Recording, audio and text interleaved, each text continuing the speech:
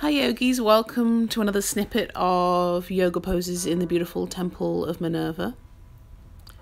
We'll just start in mountain pose before interlinking the hands, palms upwards. And if your balance feels good today, you can come up onto your tippy toes, a little heavenly stretch. And then we'll interlink the hands behind the back and open out the chest by straightening the arms and then taking it into a lovely forward fold. A few breaths here, feeling the stretch in the back of the legs before releasing the hands down to a lovely rag doll. You can shimmy and sway however you like here, and release the hands if that's comfortable. Or place the hands on the shins and lift the head for a beautiful flat back, forward fold, and then release back down into ragdoll. And I'm tucking my hands underneath the toes here for gorilla pose, a lovely stretch for the wrists.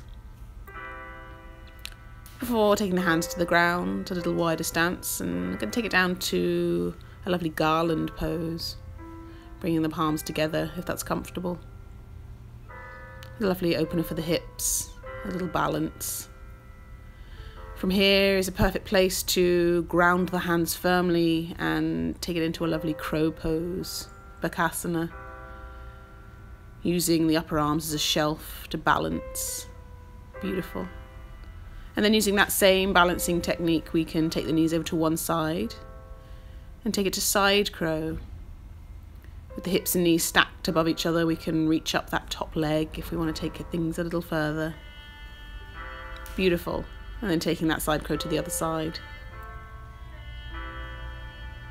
Straightening out that right leg, beautiful. I'm a bit more wobbly on that side. One side's always weaker than the other. We strive for balance. We don't always get there. and from here, we're going to take a seat, a moment in cobbler's pose. A lovely restful stretch for the hips, and we'll fold forward if that's comfortable. And take a few slow breaths here. Before coming up and taking our Sukhasana, our easy seat. And take a few slow, lovely breaths here a gentle twist to each side.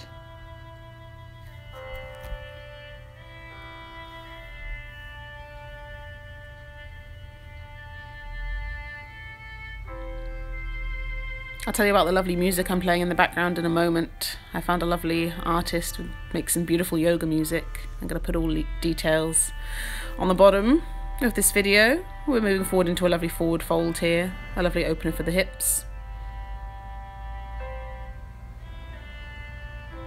It's lovely to have this relaxing music just to help you unwind and relax, set the scene for your practice. So finally, we'll take some lovely slow breaths, a moment's meditation and relaxation.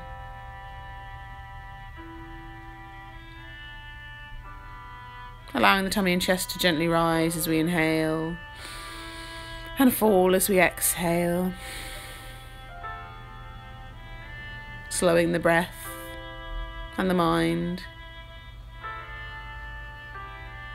Before saying namaste, thank you for joining me for this little practice in the temple today.